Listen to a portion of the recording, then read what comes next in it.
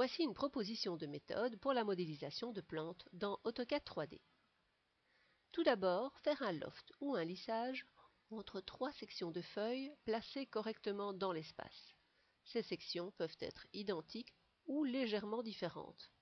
Il est clair qu'un bout de feuille est relativement plus fin que la racine de la feuille.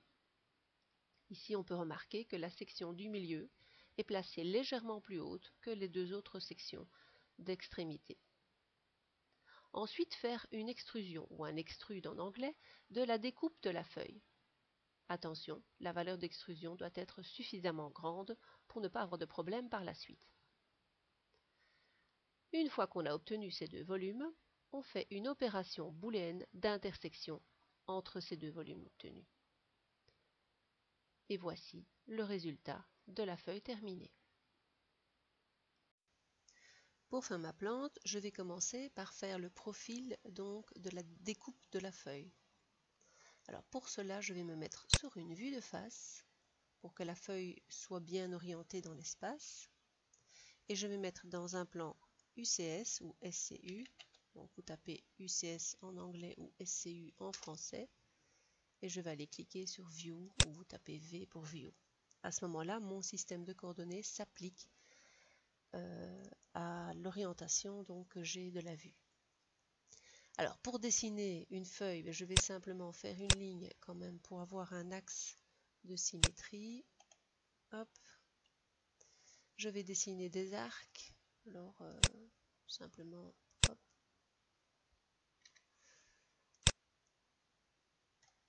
Un arc comme ceci. Un arc en dessous. Comme ça. Je vais faire un cercle ici sur l'axe suffisamment grand pour faire la nervure de la feuille.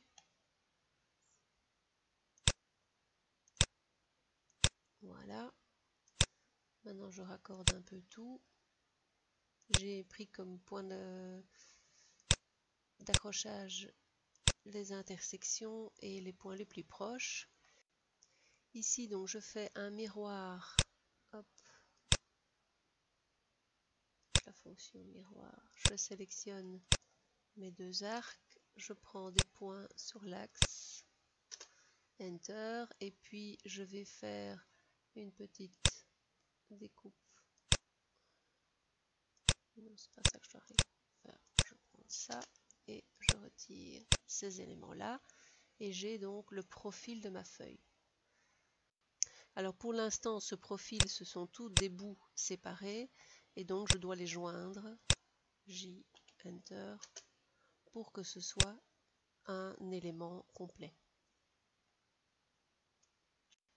Alors maintenant, je dois, je vais mettre en 3D, hop, je dois copier plusieurs fois cette feuille donc, dans l'espace. Je vais revenir sur un plan UCS général, donc vous tapez UCS ou SCU et vous tapez Enter pour accepter le plan UCS général. Donc ici, je suis dans le plan plan, le réel plan.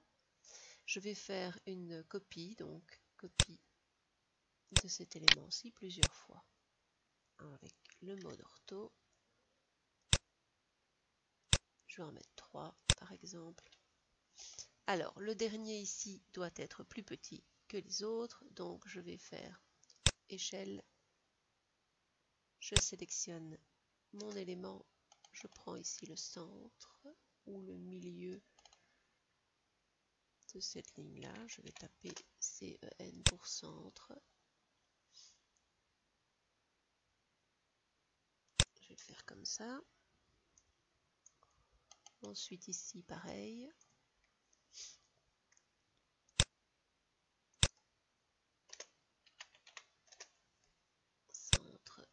je le fais un tout petit peu plus grand. Celui-là, on va dire qu'il est bon. Et le premier, je vais un tout petit peu aussi le, le modifier.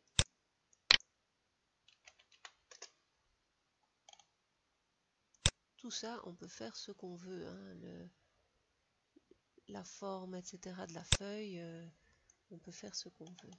Ici, j'ai fait une copie, c'est pas grave. Je vais faire effacer ceci. Allez, hop. Effacer, voilà. Bon. J'ai mes différents éléments. Maintenant, je vais me mettre sur une vue de ce côté-là. Alors, pour l'instant, ma, ma feuille, elle sera tout à fait droite. Donc, j'ai intérêt à bouger les éléments dans l'espace. Pour ça, je vais me mettre dans un plan UCS par rapport à la vue, comme tout à l'heure. Et je vais déplacer les éléments. Donc, je déplace ceci et ça un petit peu en hauteur. Et je peux faire aussi des rotations de certains éléments. Donc, je vais faire ici une euh, rotation de ceci en partant d'un point, peu importe lequel. Je retire le mode ortho. Voilà. Et je vais faire aussi une rotation peut-être du début. Voilà. Peut-être encore une petite rotation de cet élément-là.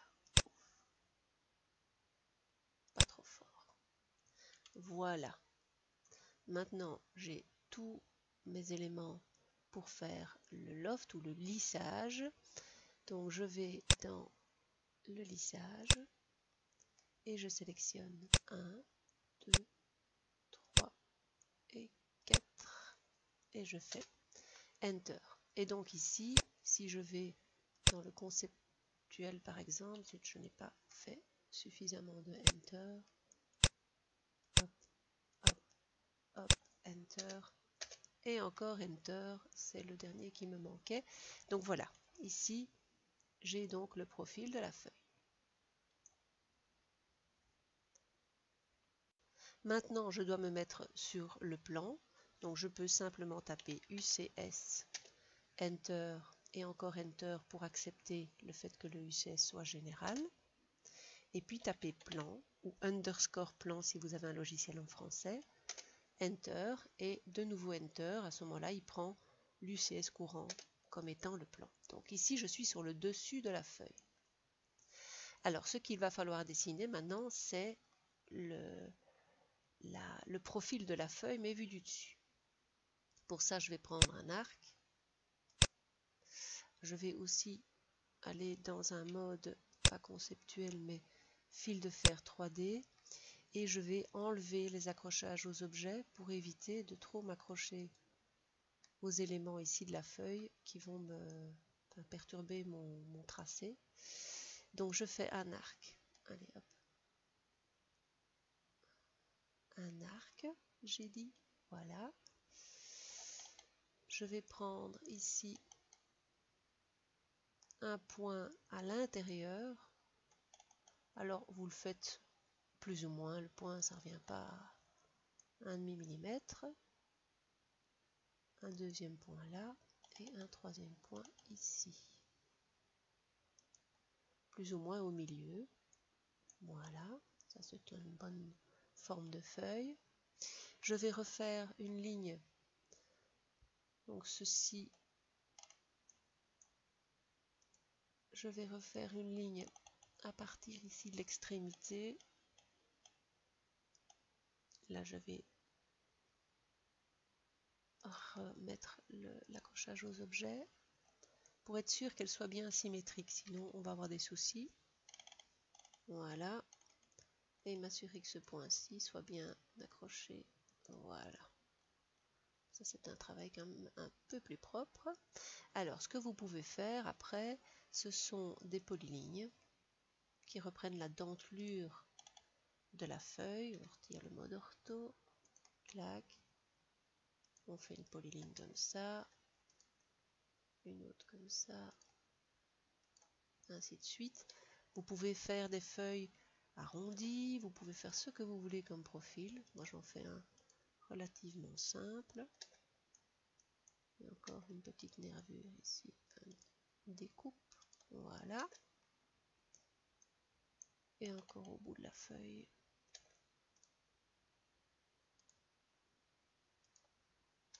Voilà. Alors, je vais faire un miroir de tout ça. Non, je vais d'abord découper, il n'y a pas de raison. Alors, euh, pour découper, je vais ici. Je sélectionne les éléments qui vont couper la feuille, mais aussi le profil de la feuille, puisque je dois récupérer des morceaux des deux.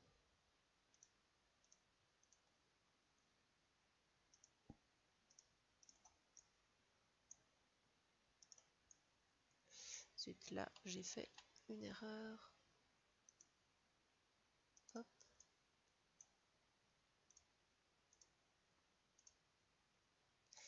Ici, on va faire un zoom vraiment plus proche.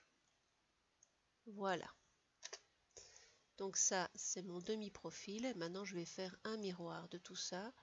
Donc je vais ici dans miroir. Je sélectionne tout ça.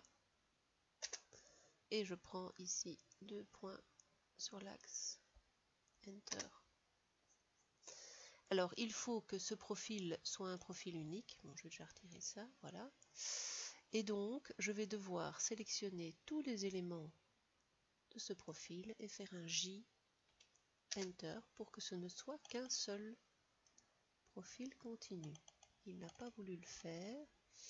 Alors, quelquefois, il y a des problèmes au niveau des jointures.